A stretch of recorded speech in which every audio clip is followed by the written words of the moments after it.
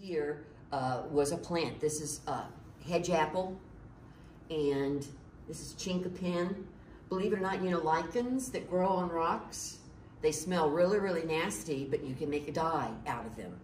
It smelled awful.